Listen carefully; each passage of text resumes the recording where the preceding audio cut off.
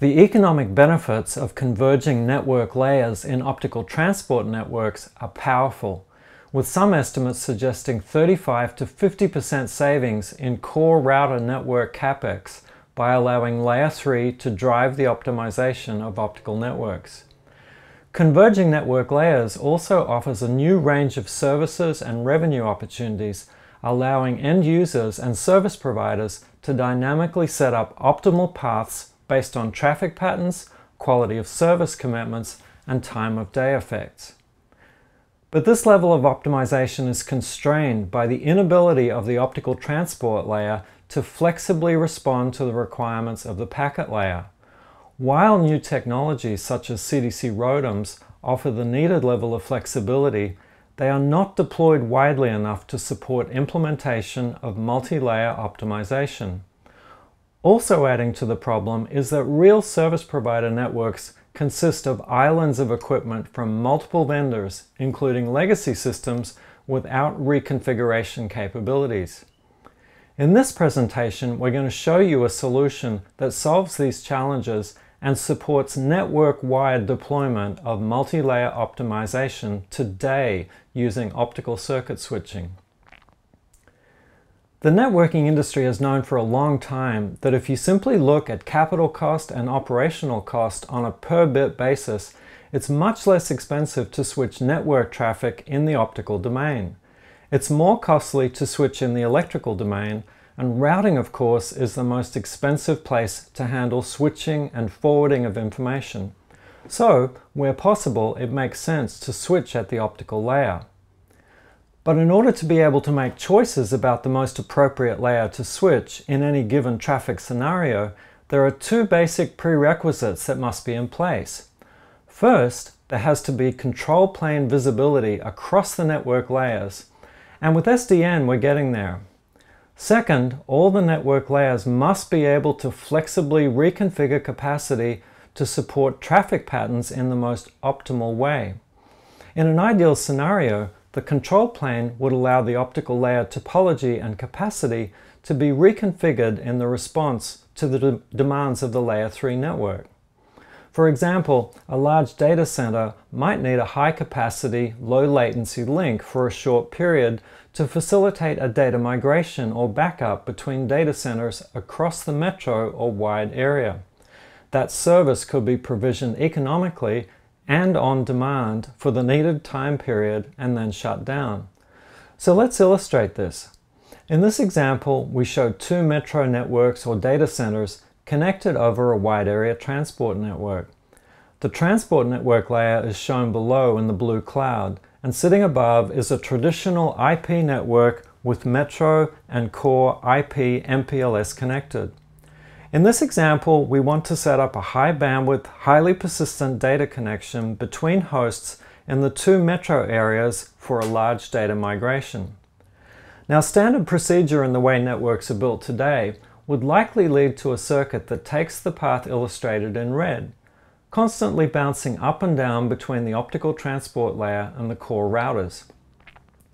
In this case, we see an end-to-end -end IP or Ethernet service that is chewing up a lot of capacity on several intermediate routers simply to move the package from the metro on the left to the metro on the right. There's no fan out occurring, nothing's happening in the core network other than IP packet transport. This is an excellent example of very inefficient use of network resources and it also degrades performance because of the additional latency added by the intermediate router hops. Now with SDN, we have the ability to start placing policies on traffic. In this same example, an express optical layer path is much more cost and performance efficient. Transporting this traffic flow over the optical transport network and moving it directly without consuming ports up and down on the routed layer is a much better utilization of resources. The technology to achieve exactly this with a flexible optical layer has existed for several years with colorless directionless and colorless directionless contentionless ROADMs. But the multi-layer optimization vision hasn't been realized yet. There are two main reasons for this. First is that CD and CDC technology is not ubiquitously deployed in transport networks, and without this, layer convergence doesn't work. Where CDC solutions are deployed, they typically exist as separate vendor and geographical domain islands without the ability to optimize between them. Secondly, service providers have substantial investments in legacy network equipment with limited or no reconfigurability that will remain in service for many years. So let's go back to our example network to illustrate this. So what if the express network path available between the two endpoints is on a legacy network path or a separate vendor island the, that the edge routers are not connected to? The routers simply have no physical means to reach the available express path. This is a problem and illustrates one of the main reasons that multi-layer convergence is not widely realized in service provider networks. There is a solution. Optical circuit switching solves this challenge by providing flexible optical layer on-off ramps between different equipment and network domains. Adding optical circuit switches at the edges of the metro and wide area networks allows the multi-layer control plane to access and select resources from any domain or vendor, including a legacy network. So in our example network, the SDN controller can orchestrate the optimum path onto the legacy network through the optical circuit switches. This effectively allows service providers and data center operators to virtualize and control all of the disparate resources in their optical transport networks. The optical network capacity becomes a pool of resources. It doesn't matter which vendor's equipment is in use or whether it's a new CDC system or a legacy system.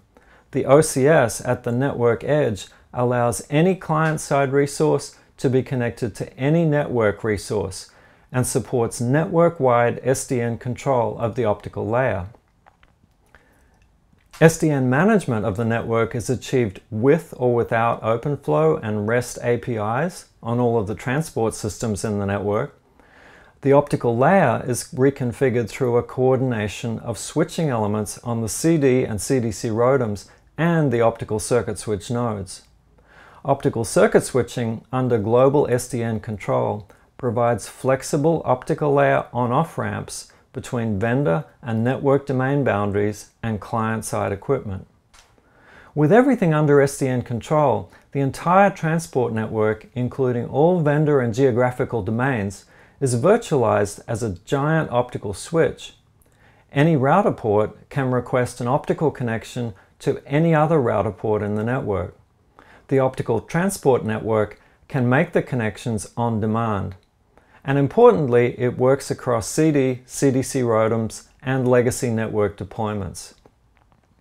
The result is real-time flexibility that the packet layer can take advantage of.